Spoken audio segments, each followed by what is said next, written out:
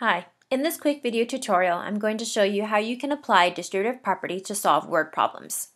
The question is, you went shopping for school supplies and you purchased 12 notebooks at $2.05 each. Use distributive property to calculate the total cost of the notebooks without tax. Many of you are probably thinking to multiply 12 with $2.05. Think about how you can separate $2.05 as the sum of two different numbers. Hopefully, you found it as a sum of 2 and 0.05.